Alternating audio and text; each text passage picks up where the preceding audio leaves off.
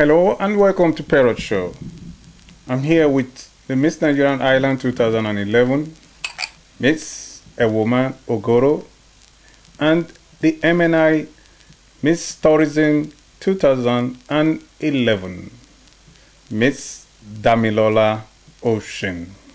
I know she will correct me about the pronunciation of her name, but she's here. So how are you doing, Damilola? I'm fine, thank you. All right, and how are you doing, Ewoma? I'm good, thanks. All right, it's good to have you with me. Well, the only reason why the two beautiful girls are with me this afternoon is that we are going to be talking about a very important issue, an issue that has to do with the youths, an issue that has to do with teenagers, most especially the girls, teenage pregnancy. So we're trying to find out why a lot of our young girls are getting pregnant when they're supposed to be in school studying their books. Miss Nigeria Ireland, let me start with you. Hmm? You are a young girl Yeah. and you are the ambassador and role model to the youths. Why do you think that a lot of girls, young girls, that are supposed to be in school are getting pregnant? Um, there's a lot of different issues that you could debate on that, on why the reasons girls are getting pregnant at a young age. But for me, I think like it's peer pressure. There's a lot of peer pressure when a girl sees her friend doing something, getting pregnant, she might get, oh, maybe I should do this as well. And it's the lack of knowledge as well. Some young girls don't know about contraception or um, um, being protected. And um, yeah, that's what I think. Um, what do you think, uh, Damilola?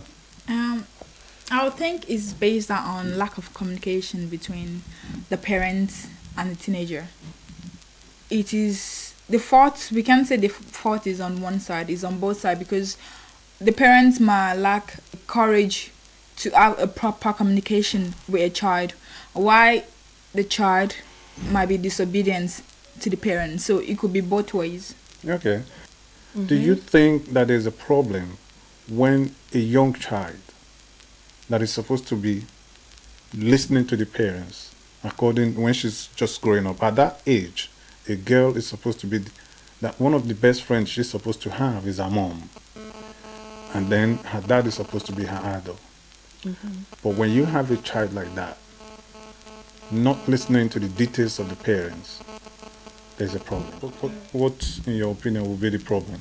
Obviously, with a child that's not listening to their parents, you know there's going to be something wrong there. Like, their parents are their role models, they tell you the right thing to do, the best things for your life.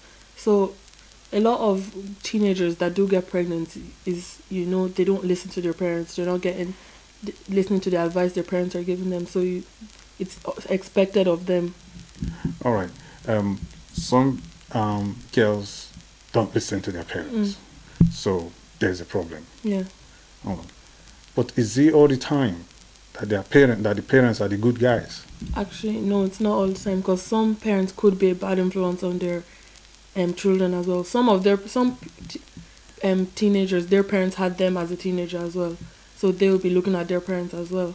So But that's not an excuse. If a, ch- if, if a parent had a child as a teenager yeah, and it's for a good reason, that's okay. hmm But the problem is, if it's a parents that drinks, the parents that fight, parents that go to parties, and not realize that their children are copying them, that's a bad thing. yeah, it's a very bad thing. It's gonna rub off their kids obviously, and their kids are gonna be watching them and seeing what they're doing and saying, "Oh, my parents do this, so it's okay for me to do it as well."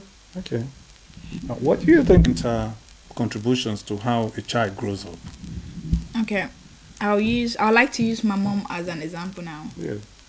my mom is someone that doesn't like indulging in alcohol so that kind of influenced me as well not to indulge in it because So you don't drink. i don't i do not i do not take, uh, take alcohol at all so that kind of even when i see my friends when i go out sometimes and i see my friends me and my friends couple of my friends we don't drink as well so it's like we already know the kind i know the kind of person i hang around with so it's like a good group of friends but i see some of my other friends also getting drunk and the way they act sometimes i'm like no no no this is just this is This is really, not good. It's not good. It's really Yeah. really bad. So It's not good. I would I wouldn't want to do something like that. I wouldn't want to put myself in that same situation, Mm. and that's technically that's lack of respect, self respect. Like Yeah. So, I I and, wouldn't want. and is uh, you would have been disappointing your parents when your parents get to know that you are doing that. Yes, that's true. But what do you think, according to uh, Damilola, how much do you think alcohol plays in influencing this people? Um, I do think alcohol plays a big influence. Like Damla, she doesn't drink, but I honestly would say like I do drink sometimes when I go out with my friends. you do drink. Yes. What do you drink? all right, all right. It's good to have a bit, but Yeah, but um, do, do some you get tipsy when you're doing? not really. No, like sometimes I just get drink sometimes to just loosen up because I'm a very shy person. I can't talk to people. But some people take it way too far. They drink, getting sick everywhere, falling all over. Like that's just out of control. Like I wouldn't get like that. So I do think drinking is a big part of it as well. Because young teenagers, when they start drinking, they get out of their minds or whatever. They don't know what they're doing, and they end up pregnant sometimes. So you should drink, but not drink to excess. Yeah, exactly. You know, you just uh, Like you if know, you don't want it. to drink like that, it- there's that's There's a good no, thing as well. That's no a crime. brilliant thing you as well. shouldn't, yeah, you shouldn't. and if you do just in moderation, just a bit of it. Yeah. That's okay. Um, Damilola, Ewoma talked about peer pressure.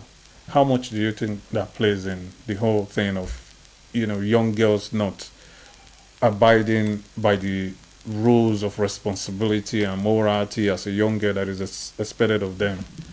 Do you think their friends contribute? Um, when it comes to peer pressure, these days I wouldn't say their friends contribute as much because when it comes down to it, yeah, no matter what's going on, no matter what your friend tells you, it's always down to you. The opinion is down to you. You have to take responsibility for yourself because it's not your friend. Let's say your friend jumped into the fire. You can't say, "Oh, because my friend Yeah, I'm. I'm going to jump into it. I, you see that is it always come back to you like you have to have self-respect for yourself and you have to know what you're doing all the time so i wouldn't like i wouldn't want to blame it on peer pressure but then at the same time we'll have to go back to with the old thing going about fashion um teenage pregnancy being a fashion statement now Oh my God, that's the new one. That's a new one. So you mean that it's now a fashion statement? It's now i would like to say it's now because these days everyone is getting pregnant and it's not what we would like to put out there When you say a fashion statement, is that saying it as they want to be pregnant? That confuses me a bit. Yes, say that's what that's what she's saying. that they want to get pregnant That's- as young. yeah, Is it? yeah. some some teenagers would like to get pregnant because they say, "Oh, oh my God, that baby is so cute. I want one." Oh. you know, stuff like that. Yeah. So it would it, it's not meant to be like that. Mm, I get you. Yeah. But um, I heard that um, some people get pregnant because they want to get some benefit from the government. you know about that? When, when it comes to child benefit, Not just maybe house, maybe I don't know, whatever. But they just say, well, they want to be independent. They want to live on their own. They want to own their own house, and they think that the best way to do it is to get pregnant, and then the government will give them, you know, a house. Uh, Is that part of it? the best benefit you can get is education. Mm-hmm. Education is the key. Yeah. Without education, there's nothing. Education is the future. Yeah. So you have to you have to go back to school. Like everyone, me, I'm just I'm I'm happy because I have my future all planned out. Go to college, do my honors degree, masters, PhD if possible. so everything, you know, you have to have you have to aim high, set the goals there. Yeah. And if you have the plans already, nothing is gonna distract you from it. Yeah. So it's all about you having a plan and having looking into the future and seeing what you want. and focusing. Um, so, how much does education play in this? Do, do you think that um, young people going out there drinking, falling down, sleeping with people they don't even know just because they're intoxicated and they don't know what they're doing? Do you think they should focus more on their school work, their educational capabilities, trying to, you know, empower themselves and be role models to the junior ones and a source of joy to their parents? I totally agree with Dami here. Like, education is the key to everyone's future. Like, if you have a good education, people with great educations and know what they want in life, know what they want in their future, to have a job, to finish their masters and all. They're not the ones getting pregnant at the age of like 14, 15.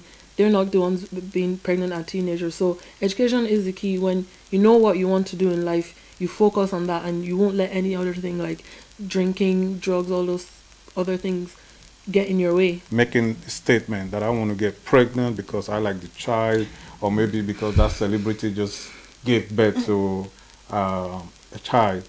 It shouldn't be what people should get themselves involved in because of that, because that's not facing reality. Yeah. The reality is growing up to an age, because there are three things that makes a man role recognition, role expectation, and societal expectation. What that means is that you grow up to a point and then you realize that you people are now you now recognize your role in the community. I need to be a student. I need to focus on my school and I need to graduate. That's one. The role expectation that your parents and you yourself, first and foremost, you yourself expect you to be able to uphold a certain degree of standard in life. And that makes people look up to you because they know the way you carry yourself, because you expect yourself that for me to be happy, I need to be at this state. And then the societal expectation is that people saying that, oh, Dami is has come of age. Um, Ewoma is the Miss Nigeria Ireland. Dami is the MNI Miss Tourism Ireland. And they expect a certain degree of behavior from you. They don't expect you to go drinking and falling down. Nobody's saying that you shouldn't take a glass of wine. They don't expect you to go insulting people or to go on Facebook getting naked just to show people that you're beautiful or insulting people on Facebook just to show that you, you carry the swag, if that's what they call it. you know? So at the end, you should be a source and embodiment of joy to the community out there and a source of happiness to your parents and an inspiration to both the young and the old. Do you think the young girl of today they have people they look up to that they say, I want to be like that person? Of course, everyone has someone like Who is your I role don't model? know. Um, my mom. Or your mom? Yeah. So you want So- to? I know that your mom um, is is still um, a popular, a well-known face in Nigeria. Let's say, I guess. Uh, so, what is it? What is that one thing that you look up to that makes you uh, look Like to your mom as your role model? she's a hard worker, and if she wants something, she, She goes works for it. hard to get Yeah. it. Like, and that's what I I, guess she's probably her, so- working right now. Yeah. So I know. that's the kind of person I want to be as well. Okay. Uh, who is your role model? I would like to say my mom is my role model because she's always been there for me. When I need something, she she's she's a very hardworking. Even when I said during the pageant, I said it as well that my mom is my role model. She work hard. She's a student. She's doing a masters at the moment. At the same time, she's working hard to provide for my family. So when I, I when I look at what she's doing, it makes me want to work harder. She I don't want to say Well, you that. know, you, you you always have to work anyway. Whether you whether you even when you go to school and finish, you still have to work Yeah, but it makes me want to work harder because so that I you can be of help to her. exactly. All right. What do you think they should be doing instead of getting the zest involved in drinking, in pregnancy, and antisocial, different kind of antisocial behavior? What do you think they should be doing? I think they should be studying. They should be getting into their education so they could have a better life. And I think they need to be more educated. I need I think like teenagers they should like be told about like what your life would be like after like if you get pregnant as a teenager like your life will completely change. So I think like people should talk to them about it and say it's it's not gonna be it's gonna be really hard. It's not gonna If be you easy if you take having this a little if you take this road, it's going to be really difficult. Yeah. you might think, oh, I have a cute baby, oh, it's my baby, but it's really hard work to look after another person, like even when you're still a teenager. Oh, well, that, that that person that is meant to talk to them is somebody like you. The responsibility that Mm. someone like you should take. And what do you think you can do about it? I think like what I just said now, I talk to them and just let them know that it's not like the way you want your life to be. Some people, I some teenagers, oh, they have it planned or whatever, and or they want to have a child, but still, it's it, the best road is just focus on yourself for now. Go get your education, and then you can worry about that. Okay. With pregnancy, it's not always the case Mm. that people get pregnant because they are irresponsible, Yeah. Or sometimes pregnancy happens through other ways. Yeah. What other ways could be In there? some cases, like not all girls that get pregnant young are like crazy drinking. Like maybe they make right decisions or they're like in education and they're studying and in school. But sometimes it just they just some people are just unlucky and it just happens to happen to them. Yeah. So I just wanted to say that because sometimes it's not everyone that is crazy. Um, yeah, crazy. Uh, well, the, the the thing is, what that one means is that um, we we know that there are situations where it does happen. Yeah. But all we can advise is that people should be careful. Maybe a bit of more, a bit of awareness on how to protect themselves when yeah. you know you are not ready for a Yeah. child yet. Yeah. All right. So, what do you think about it? Um, like you said, it's not always about going crazy, drinking, doing drugs. It could be someone might get raped. So it's not always about the bad side. At the same time, there's always like, oh, an accident. So it could be rape. Like I said before, it could be rape. So it's just about you preventing yourself, trying Yeah. finding a way to prevent that rape from happening. Protecting yourself. Yeah, protecting yeah. yourself. Yeah, uh, that's another thing. When people get raped, um, don't you think when a girl, f- for unfortunately get raped, Mm. they should go to the hospital immediately? And like get rid of the child. No, no, they they're not Oh. pregnant yet. Oh. But just get to the Oh, hospital to take care should- of yourself. Yeah, because, of course they should. You know, some people they get raped and you know maybe especially in the village they don't know that the consequences, the aftermath of that might be pregnancy. Yeah, they So, should go straight. I mean, into- when there's a situation like that, I know that it's not in all cases that people want to say that Mm. that something like that has happened.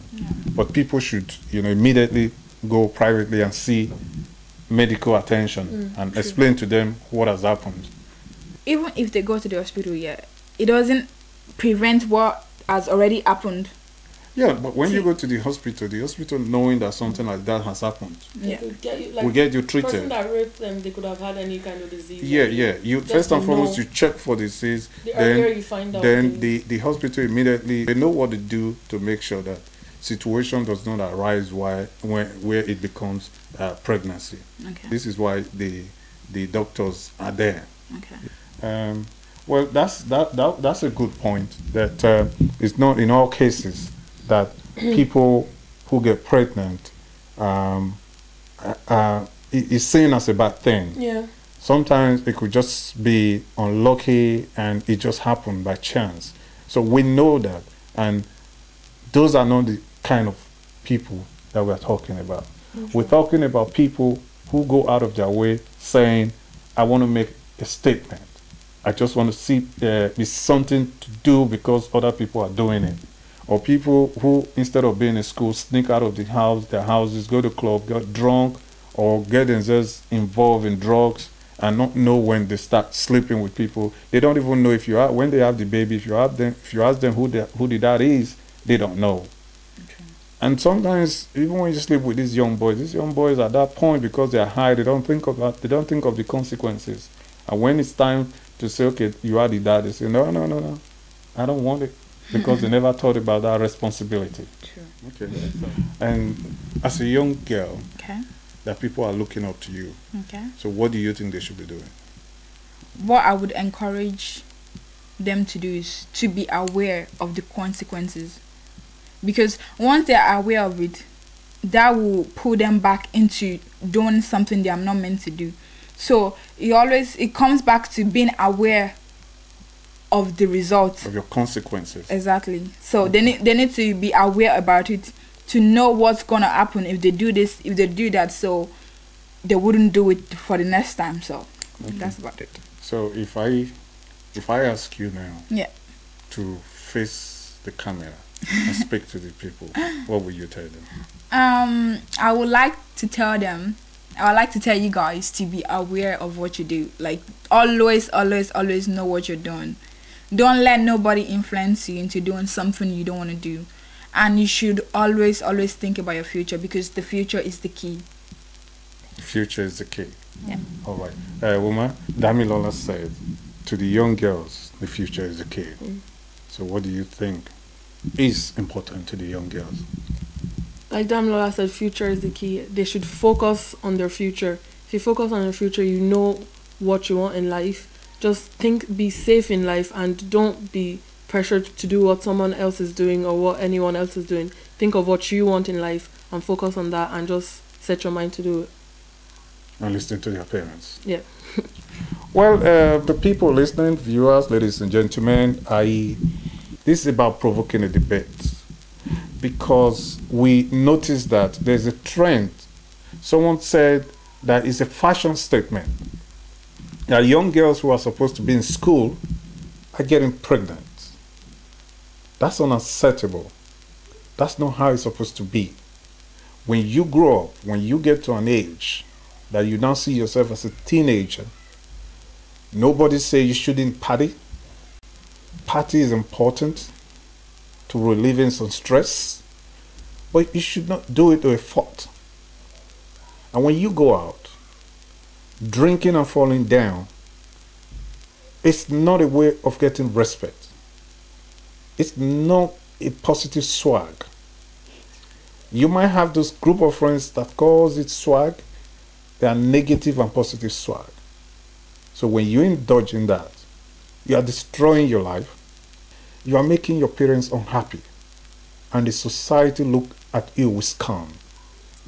So that what I think we should do is that when your parents send you to school, go to school and read your books. Make the society proud. If we don't lay a foundation now, people that will come after us are going to have to start again. And then when they see you, whether parents, brothers, auntie, or who, they're going to ask you, What did you do in your time? You won't say you didn't have opportunity because we know that the opportunities are bound. They might be difficult, they might be challenging. But Claude Marquet said, I like this cultured hair that tests my youth. When you are faced with a difficult situation, what you do is that you bring out the best in you. You would not have the excuse that my parents did not look after me. That was why I got pregnant and dropped out of school.